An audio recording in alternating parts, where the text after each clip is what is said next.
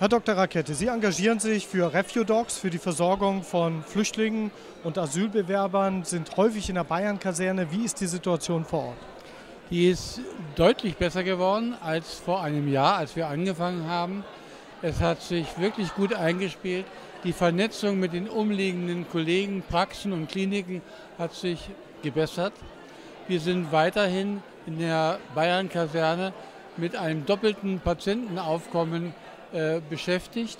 Wir haben zwischen 100 und 120 äh, Patienten pro Tag und äh, es ist auch noch nicht abzusehen, dass das deutlich äh, weniger wird. Was sind denn da die größten Herausforderungen als Arzt? Die medizinische Herausforderung als Arzt ist ähnlich wie in einer Praxis.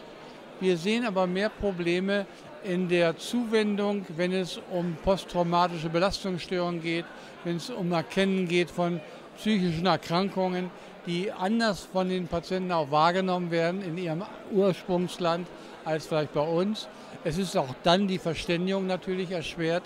Wir müssen natürlich dann einen Dolmetscher hinzuziehen, wenn es nicht in Englisch geht. Und äh, das kann natürlich sein, dass wir da gar nicht die ureigensten Ängste und Probleme erkennen können. Also die Sprache ist eine Hürde, natürlich auch die Belastung durch den Krieg oder durch die Flucht. Was sehen wir für Krankheiten? Sind das die normalen Krankheiten, die Sie als Facharzt für Allgemeinmedizin auch sehen oder sind auch andere dabei? Also es wird ja häufig äh, gedacht, dass wir da ganz exotische Krankheiten den ganzen Tag sehen. Das stimmt nicht.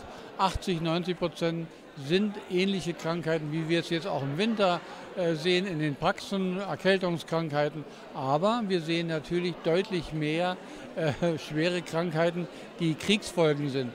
Nicht verheilte Brüche, Schusswunden, Infektionen, nicht versorgte chronische Krankheiten, entgleiste Diabetes mellitus, viele Schwangere, viele nicht geimpfte Patienten und natürlich auch eine große Anzahl von minderjährigen unbegleiteten Flüchtlingen.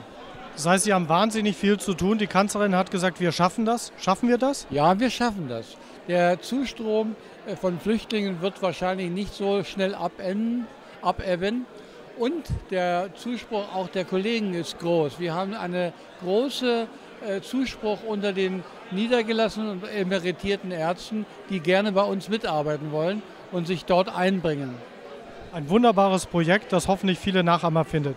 Ich danke Ihnen auch.